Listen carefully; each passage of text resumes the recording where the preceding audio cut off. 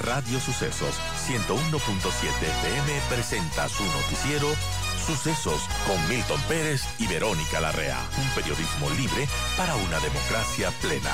Los hechos y las opiniones de los sucesos que marcan nuestro tiempo.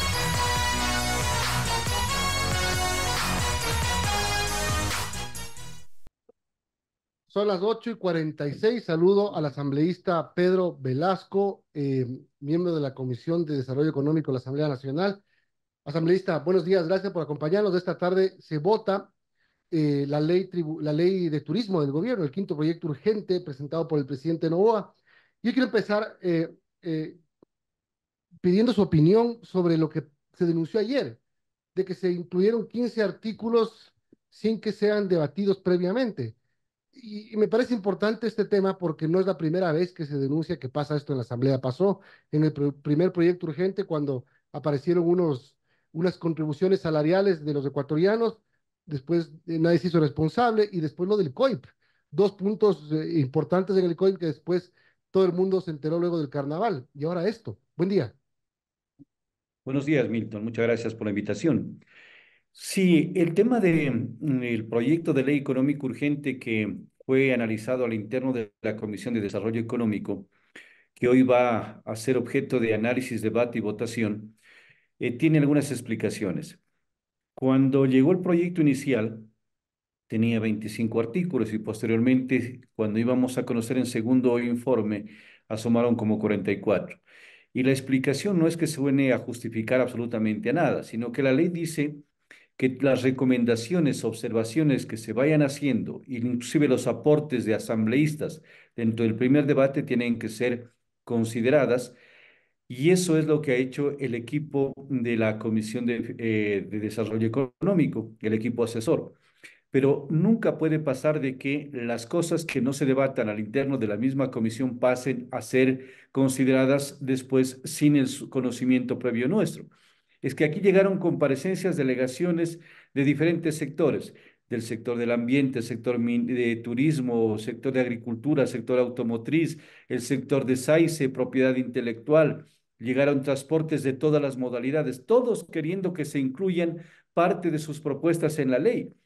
Y es que una ley no puede ser parcelada y no puede tampoco representar solamente el interés de un sector. La ley tiene que ser general para que beneficie al país en todo el, sentido de la palabra. Le voy a citar solamente un tema. Se pretendió nuevamente retomar lo que era Manaví y Esmeraldas, lo del terremoto del 2016, para que también incluya beneficios a las dos provincias. Nosotros hemos dicho que respaldamos a todas las provincias del país, pero una ley no puede ser parcelada para favorecer otros sectores. Se pretendió incluir para el tema de favorecer con el tema del IVA a la provincia de Loja.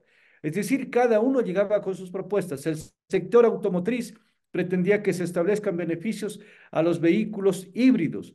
Cuando nosotros aprobamos una ley de competitividad energética hace poco tiempo que hablaba solamente de los vehículos 100% eléctricos, porque ese es el proceso de transición energética. Por lo tanto, todas esas cosas fueron incorporándose y es más, hablan de un capítulo de la ley de Galápagos, que es una ley muy diferente. La ley del Consejo de Gobierno de Galápagos no puede ser reformada o modificada con este tipo de leyes. Y así es como aparecieron todos estos artículos. Por lo tanto, a tiempo, nosotros los, lo pudimos mencionar en la comisión y fueron excluidos todos estos aspectos que podían dañar la, la ley inicial. Ahora, ¿ya se depuró? Está depurada, Hamilton. ¿Y quién se hizo responsable de todos esos artículos? Para variar. El, tema del equipo asesor, pues, pero cuando nosotros por eso estábamos pidiendo que nos hagan llegar el informe con la suficiente antelación para poderlo revisar, para poder tener el tiempo para hacer las observaciones, pero si usted revisa o el equipo suyo revisa las grabaciones de la sesión, precisamente se mencionó que todos estos temas fueron ya excluidos del informe para segundo debate que va a ser hoy conocido por parte del Pleno. Bueno, hablemos un poco del contenido que va a ser aprobado. En general, ¿usted cómo la ve? La veo bastante positiva y si usted eh, hace una auscultación de los sectores de la Asamblea, de las diferentes bancadas, han mirado eso positivo. Para citar el primer caso, se habla ya de la creación de un fondo de promoción y desarrollo turístico, que eso es fundamental. Si nosotros queremos que se venda las riquezas naturales, las riquezas turísticas de nuestro país, hay que difundirlas y hay que promocionarlas, sino cómo podemos nosotros decir a nivel interno y a nivel externo de las bondades que tenemos. Es que se nutre este fondo con recursos económicos de este plan Alas Delta, que también genera más de 40 millones de dólares, y estaban yendo directamente al Tesoro Nacional y no estaban siendo revertidos para la actividad que se creó este fondo. Así es que esto va a permitir promocionar a nivel interno y a nivel externo el tema de turismo. Lo mismo en el tema de regulación del transporte terrestre de turismo, se le establece la obligatoriedad de la Agencia Nacional de Tránsito de que contrate estudios técnicos para que en el plazo de 180 días tengamos las reales necesidades de quienes quieren incursionar de las cooperativas, de las empresas de transporte a generar turismo, porque no está bien que todo mundo hoy quiera hacer actividad turística cuando quieren desviar actividades del servicio de transporte público, transporte escolar. Hoy todos quieren hacer actividad turística. Cada uno tiene que hacer el campo de competencia. Además, la ley determina que solamente deberán dedicarse a una sola materia. Y además se regula de que estas unidades de transporte terrestre turístico lleven un dispositivo satelital para garantizar seguridad tanto a los usuarios nacionales como extranjeros. Se establece el compromiso de que los gobiernos autónomos descentralizados también participen porque decimos queremos hacer turismo, pero si no hay ni siquiera los servicios básicos en determinadas regiones del país, como agua potable, alcantarillado, electrificación, ¿cómo pretendemos nosotros dinamizar las actividades turísticas? Tienen que involucrarse y dejar de hacer otro tipo de actividades y darle por lo menos los servicios básicos que primero favorezcan a sus comunidades y también al tema del turismo. El turismo comunitario ocupa un espacio importante en esta ley, estimado Milton porque el turismo comunitario en nuestro país se está haciendo hace rato, pero hay que también fortalecerlo y hay que dar posibilidades de que nuestras comunidades indígenas, campesinas de los diferentes sectores puedan obtener también ingresos. Así es que también se garantiza el tema de que los eh, espectáculos artísticos y culturales de gran renombre puedan llegar a nuestro país con incentivos tributarios, es decir, que no se cargue más impuestos, sino al contrario, porque eso dinamiza muchos aspectos. Dinamiza el sector del transporte aéreo, terrestre, turístico, hoteles, restaurantes, dinamiza comercio.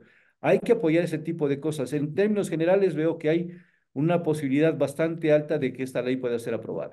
Ahora, un tema importante y que se lleva un buen contenido es la parte de las aerolíneas, la exoneración del impuesto a la salida de divisas de los pagos efectuados del exterior por aerolíneas nacionales y extranjeras que operen dentro, desde y hacia el Ecuador, la eliminación progresiva del 5% a la expedición de combustible conservado en el artículo 31 de la Ley de Aviación Civil. La reducción será de un punto porcentual al año hasta llegar al 0%.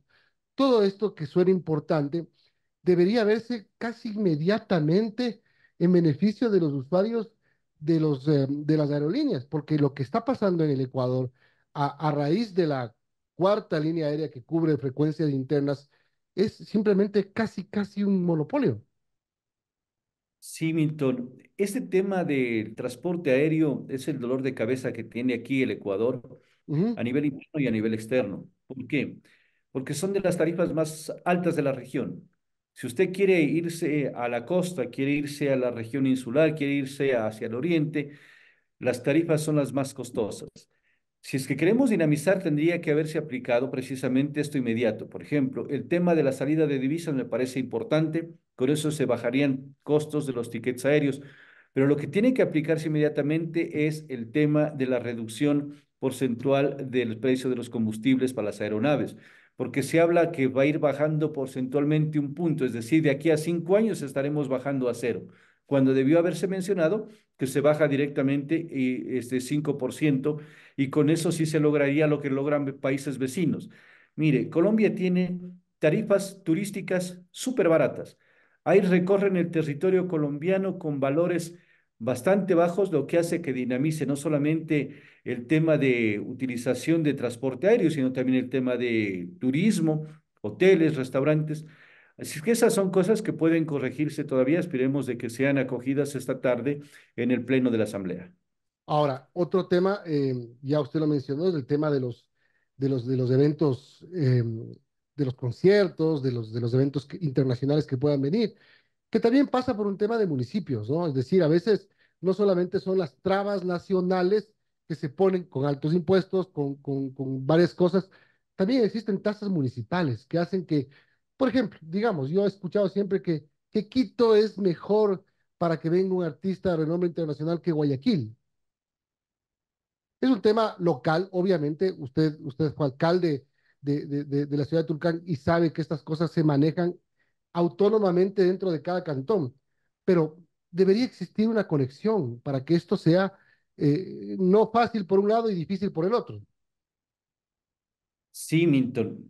Mire, yo sostengo de que la legislación nacional tiene que ir armonizada con la legislación local, porque a veces la legislación nacional dice, sí, estamos eh, incentivando, reduciendo pagos de impuestos, de tributos, para que vengan espectáculos artísticos y culturales de gran renombre a nivel mundial. Pero a veces esto topa con la traba de que los gobiernos autónomos descentralizados tienen su propia legislación en base a sus ordenanzas que tienen. Pero una ordenanza no puede irse en contra de una ley, pues tiene que acoplarse a lo que dice la ley. Y aquí en esta ley, me voy a permitir mencionarle, se están habilitando para que los gobiernos autónomos descentralizados, los GATS, establezcan incentivos tributarios orientados a esas actividades. Es decir, que aprobada esta ley, los gobiernos autónomos tendrían que también adecuar su propia normativa interna, su legislación de ordenanzas que tienen para que se facilite esto. Porque no es que haya una competencia, que el municipio X de tal parte cobra más impuestos, el otro municipio baja impuestos. Aquí debería haber una armonización de todos. Y más bien ahí debería trabajar la Asociación de Municipalidades del Ecuador en una estandarización para que todos tengan el mismo tratamiento y no haya esas excepcionalidades que sí lo que hacen es ahuyentar precisamente este tipo de eventos. Bien, eh, en todo caso, ¿usted cree que esta tarde se aprueba esta ley? Yo pienso que por el bien del país deberíamos nosotros como ecuatorianos y como miembros de la legislatura, como la facultad que tenemos, de aprobar esta ley, porque se trata de fortalecer las actividades turísticas y además fomentar el empleo, sin que eso signifique, desde luego, incursionar en otras actividades. Yo ratifiqué en mi intervención, que lo hice en la comisión, de que la materia que se analiza en, económico urgente, en leyes de esa categoría, tienen que ser únicas. No metamos de todo. Cuando hacemos como estamos cerca de la Semana Santa, una fanesca que queremos meter de todas las leyes, ahí mismo cambiar la ley energética, aportar la ley de agricultura, del ambiente, todo, esto se daña. Si es que, si es que queremos eh, fortalecer actividades turísticas, deberíamos aprobar esta ley. Eh, quiero tratar un último tema en estos minutos que me quedan, eh, asambleísta. el tema de la fiscal general, este, este, esta búsqueda de hacer un respaldo a la fiscal y esta propuesta social cristiana de que no respaldo, pero sí respaldo, diciendo que respetamos la independencia de funciones, pero al mismo tiempo le pedimos un informe de los casos eh, de corrupción más sonados. ¿A qué le suena? Eh, a mí me preocupa mucho este tipo de resoluciones con piola o con anzuelo. O sea, doy el respaldo a cambio de que me den información. Doy el respaldo, entre comillas, a lo que no lo logré con las reformas al Código Orgánico Integral Penal, que era precisamente levantar la reserva de la indagación previa, pero quiero que me den información. Yo ayer lo escuché al presidente de la Asamblea diciendo que la Asamblea tiene facultad de fiscalización. Eso nadie lo duda. ¿Y que puede pedir información? Tampoco nadie lo duda, pero tampoco puede pedir información en temas de autonomía que tiene la Fiscalía. La Constitución, la ley orgánica, el Código Orgánico de la Función Judicial determina que la Fiscalía tiene la titularidad de los procesos de investigación penal y que goza de autonomía en todas las áreas. ¿Y por qué pretender inmiscuirnos en esa autonomía? ¿Por qué pretender dañar los procesos que lleva adelante? Ya no hubiésemos tenido lo que pasó en días anteriores con el caso Purga, si es que esa información llegaba antes a la Asamblea, se filtraba toda esa información y ya no estuviésemos tras las rejas a muchas de las personas, sino disfrutando de esas actividades ilícitas en el extranjero. Ya basta de seguir queriendo meterle la mano a la justicia. Dejemos que cada ente haga lo propio. La fiscal merece todo el apoyo, todo el respaldo. Y lo está haciendo el pueblo ecuatoriano. Si usted hace un balance, todo el pueblo apoya hay sectores que no les interesa apoyar porque se sabe precisamente que lastimosamente la política está manchada, contaminada de organizaciones criminales. Y los intentos que están haciendo también ya no deberían seguir dañando eso, como que pretenden hacer aparecer como que la fiscal necesita algún apoyo. Tres intentos de resolución. Otro más que pretenden ahora, y ahora ya lo han sacado del orden del día, porque esta tarde teníamos precisamente que continuar esa sesión para analizar el presupuesto, pero ya no la han puesto. Seguramente sea por vergüenza. Me parece bien que la saquen, porque no deben contaminar un trabajo tan transparente que está haciendo fiscal con otras acciones. Así es que el apoyo no es de esa manera. El apoyo tiene que ser respetando la autonomía, exigiendo que el Consejo de la Judicatura le dé más fiscales a la Fiscalía, más personal que requiere para cumplir su rol. Claro, o sea, ni lo uno ni lo otro, ni la propuesta social cristiana, ni la propuesta de, de, de Construye que vino este, fracasando eh, sistemáticamente en los últimos días, porque la fiscal no necesita que le apoyen, necesita que, que, no, la, que no la jodan. En definitiva es eso. Pero ¿cómo es lo que quieren dar apoyo y a la postre le están queriendo ya llevar a juicio político a la Asamblea? Eso sí tampoco es permitido y no lo vamos a permitir. Tenemos que nosotros defender, pero en legal forma y respetando la ley, la constitución y la autonomía. En una parte dicen, sí les respaldamos, pero en otra, venga nomás a rendir cuentas a la Asamblea de algo que no, está, que no ha cometido. ¿Qué incumplimiento de funciones tiene la fiscal? Ninguno. ¿Qué incumplimiento del deber está haciendo? Más bien está cumpliendo lo que muchos no lo hicieron en su momento, que deberían haberlo hecho. Así es que eso sí preocupa, ya no. Yo digo siempre que las resoluciones que salen de la Asamblea, los exhortos, a veces no sirven absolutamente para nada. Yo no comparto ese tipo de decisiones. Muchas gracias por acompañarnos, asambleísta Pedro Velasco. Eh, asambleísta de Avanza, son las nueve de la mañana con un minuto. Tenga buen día. Buen día, Milton. Muchas gracias.